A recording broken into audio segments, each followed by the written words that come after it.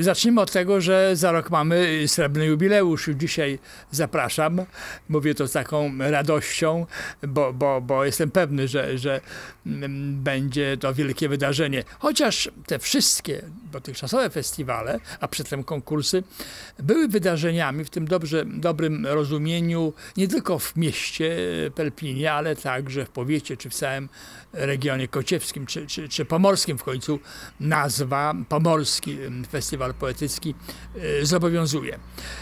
Do tej pory wzięło e, udział w festiwalu ponad 3000 młodych ludzi z około 200 e, szkół. Najpierw festiwal był konkursem, potem się rozrastał. W tej chwili mm, w części konkursowej mamy sześć kategorii. Recytacje dla grupy młodszej, siódma i ósma klasa, trzecia gimnazjalna oraz uczniowie szkół ponadgimnazjalnych, poezja śpiewana, programy poetycko-muzyczne, juwenilia i eseje oraz od dwóch lat y, pod patronatem Uniwersytetu Mikołaja e, Kopernika szósta kategoria e, pamięć o dziedzictwie y, kulturowym.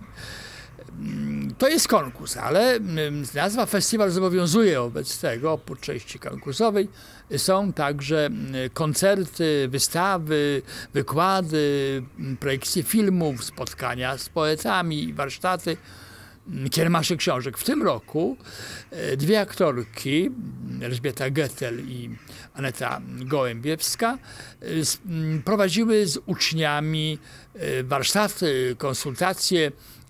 Wszystkie strony były zadowolone, znaczy i panie, które prowadziły te zajęcia, jak i młodzież. To cieszy organizatorów, jeżeli pomysł jest trafiony. W tym roku także odbyły się dwa odbędą się dwa koncerty. Jeden odbył się przed chwilą, koncert dedykowany pamięci świętego Jana Pawła II z udziałem młodych artystów z Pelpina. I jutro, 31 y, maja, w drugim dniu festiwalu, y, koncert w wykonaniu starogórskiego zespołu Familia HP, y, poezja księdza Pasierba w wersji muzycznej, wokalnej, śpiewanej. Oprócz tego także trzy wykłady. Pani Maria Wilczek, prezes fundacji imienia księdza Pasierba, pani doktor Agnieszka Laddach, i moja skromna osoba, y, mówiliśmy lub będziemy mówili y, o y, twórczości, o osobie księdza Pasierba. Poezja księdza Pasierba uważana jest dość powszechnie za erudycyjną, trudną, czy wręcz niezrozumiałą.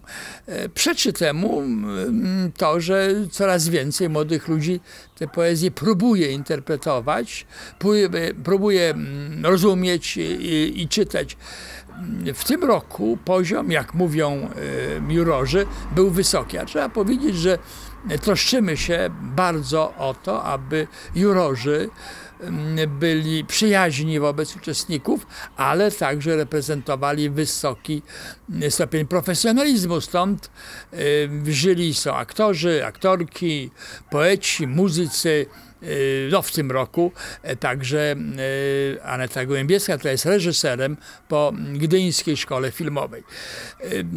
To dodaje prestiżu, ale to także e, uczy młodzieży porządnego mówienia poezji, nie byle jakiego. E, ten kontakt ze słowem młodych ludzi jest coraz bardziej e, ograniczony. Młodzi mówią językiem skutowym, takim żargonem właściwie, tylko przez nich rozumianym i praca nad słowem, nad, nad jego pięknem, nad jego prawnością, w końcu na, nad prawdą, która ze słowa wynika, jest niezwykle, niezwykle istotna i festiwal y, takim poczynaniom y, sprzyja. W tym roku y, przyjechała młodzież y, z Kociewia, ale także ze Słupska, także jest młodzież z Malborka, z Pidzyna.